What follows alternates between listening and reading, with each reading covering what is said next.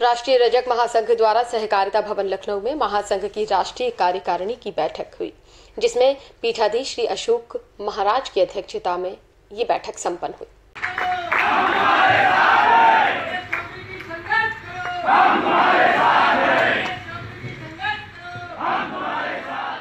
बैठक में संघ की नई राष्ट्रीय कार्यकारिणी का गठन कर घोषणा की गई, जिसमें अशोक जी महाराज, अन्य मार्गदर्शक मंडल एवं संगठन के सभी कार्यकर्ताओं द्वारा सर्वसम्मति से सम्मानित विधायक श्री दिनेश चौधरी को राष्ट्रीय अध्यक्ष घोषित कर दिया गया।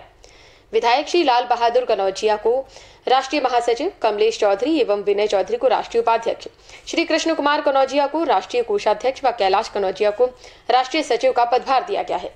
ऊर्जावान विधायक श्री बम्बा लाल दिवाकर एवं विधायक श्री धनंजय कनौजिया की उपस्थिति में अशोक जी महाराज द्वारा संगठन को मार्गदर्शन देने के बाद संगठन के पदाधिकारियों एवं उपस्थित कार्यकर्ताओं को ईमानदारी से समाज एवं संगठन में कार्य करने की शपथ दिलाई गई।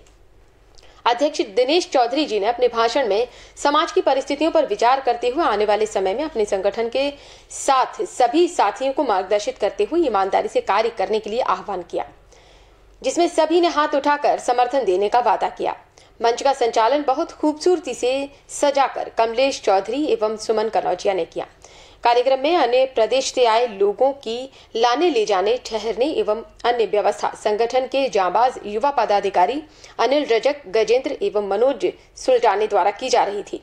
बैठक में लगभग 10 से 11 प्रदेश के समाज के वरिष्ठ बुद्धिजीवी एवं अन्य लोगों ने बढ़ चढ़कर हिस्सा लिया एवं संगठन को हर प्रकार से समर्थन करने का वादा किया, जिसमें समाज के मार्गदर्शकों द्वारा बैठक में समाज कार्य पर विशेष ज़ोर दिया गया और संगठन को पूरे देश में विस्तार करने एवं मज़बूत करने पर समर्थन दिया।